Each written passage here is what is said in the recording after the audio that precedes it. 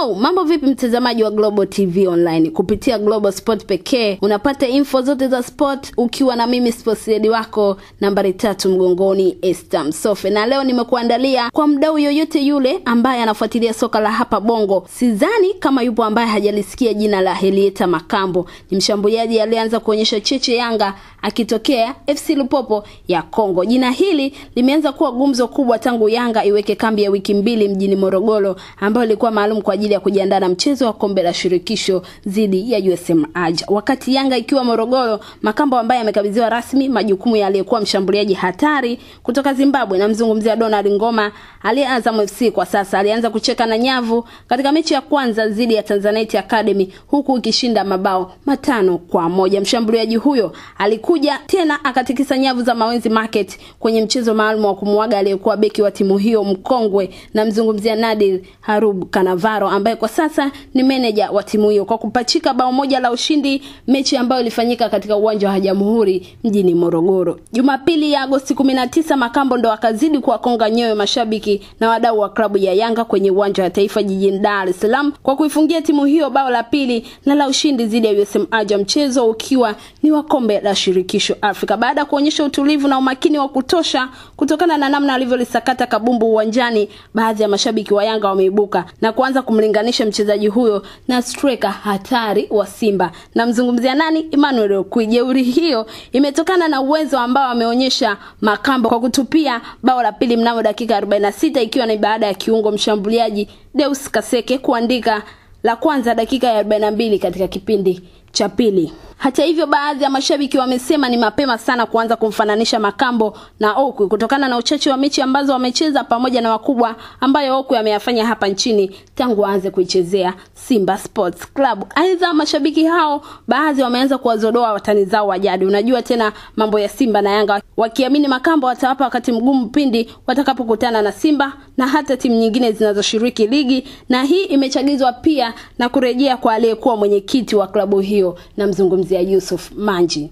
Manji alirejea kwa mara ya kwanza tangu atangaze kuachia ngazi kuwashuhudia Yanga wakikupiga na USM Alger na kufanikiwa kuibuka na ushindi wa mabao mawili kwa moja na kufikisha alama nne kwenye kundi D. Baada ya kumalizana na USM Alger, Yanga sasa inaelekeza nguvu zake kukamilisha mechi za kundi hilo dhidi ya Rayon Sport ya Rwanda, mchezo utakaopigwa huko Kigali, Rwanda, Agosti 28, 2018. Ili usipitwe na sport breaking news popote ulipo nchini Tanzania, kujisajili ni bure. Tuma neno sport kwenda namba moja tano tano tisa tisa. Hii ni kwa ajili ya wateja wa Vodacom pekee. Asante na nikutakie wakti mwema.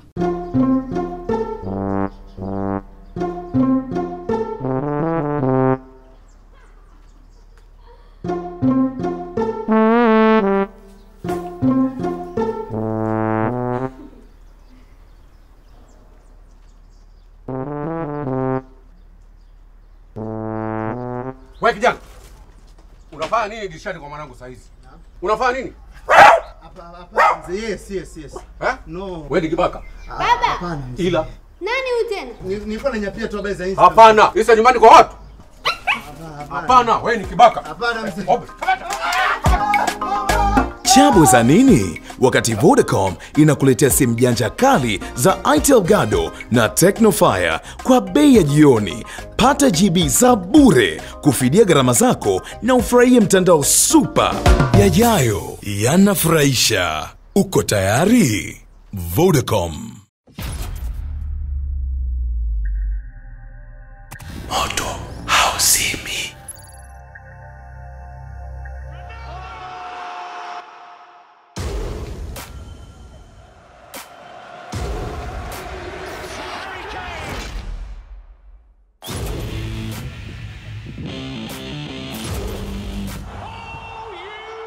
Moto hauzimi.